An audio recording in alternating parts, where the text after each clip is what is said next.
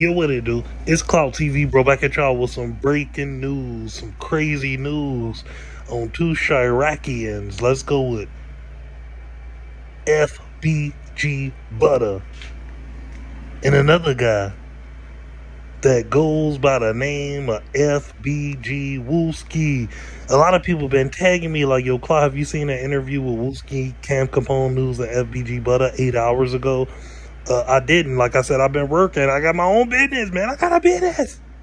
I scrambled to the internet as fast as I could, and you know what? I seen it. It looks like FBG Butta.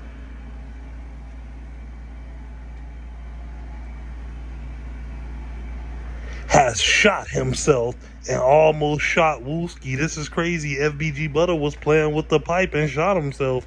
I guess this was happened in the past. Uh, Wooski and Butta was laughing on it.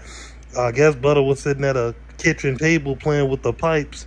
And, uh, you know, the gun went off. You know, he almost shot his groin area off. And he almost shot Wooski as well. Butta was rushed to the hospital. Wooski was going to go to the hospital with him, but he didn't go. He had to hide the pipes before the police and the ambulance got there.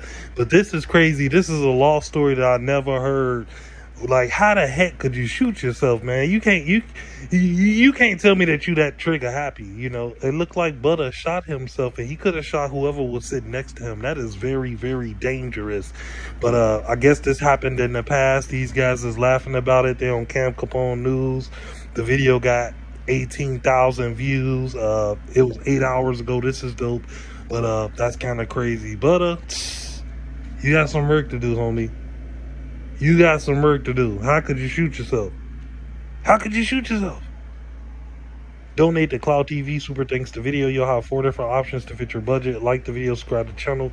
Really appreciate you guys. Hey, it's Clout TV, and we out of this thing. Gang.